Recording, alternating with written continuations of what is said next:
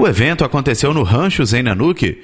A primeira mostra de orquídeas proporcionou um final de semana diferenciado para os amantes de orquídeas de Nanuque e região. É, nós somos apaixonados por orquídeas, né, por plantas, por flores, né, pelo meio ambiente.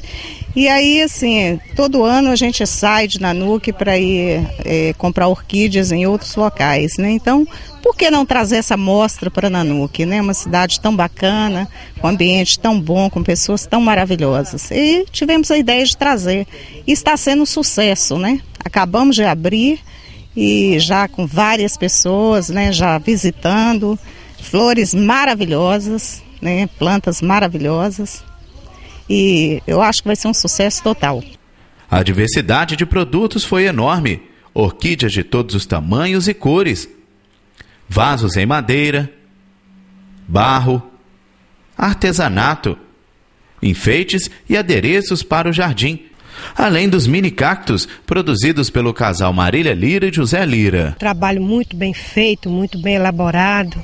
E também assim, é, a gente vê que Nanuque está tendo um desenvolvimento, né? E assim, a oportunidade que todos estão tendo de ver uma amostra de orquídea, a, o artesanato da, da terra.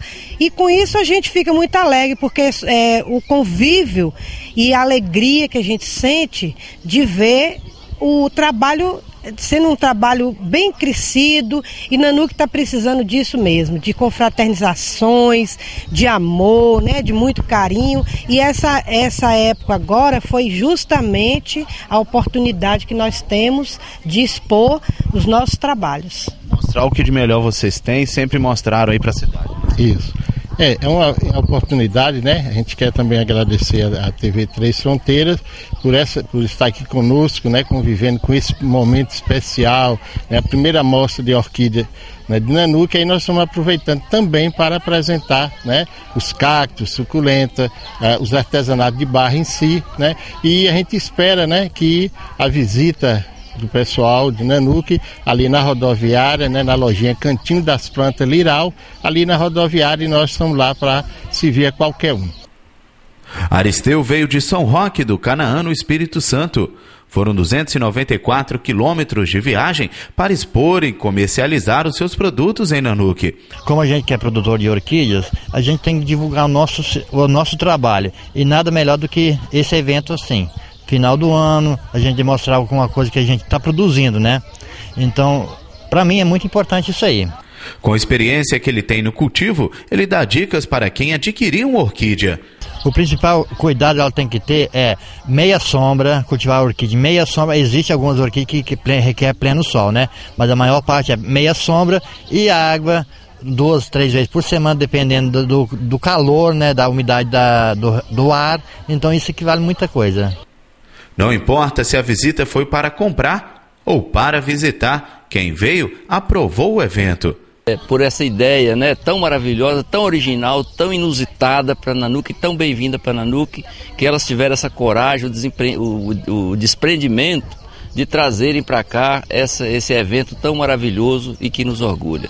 Um momento assim bem agradável, a, a, as pessoas que aqui chegarem vão encontrar um ambiente diferente não é porque a cidade precisa movimentar, precisa mostrar o, o, o que tem de, de bom. Olha, eu só tenho a parabenizar? A equipe organizadora dessa mostra de orquídea. É um grupo que tem levantado muita bandeira de meio ambiente. Nanuc está precisando disso, né? Valorizar a, os recursos naturais, no, que no caso a, a, nossa flora, né? E levantar realmente essa bandeira aí para todos os cidadãos, trazendo para Nanuc mais eventos. É uma distração no final de semana, é mais uma opção para o nanuquense para estar tá se inteirando de todas as questões que aqui acontecem.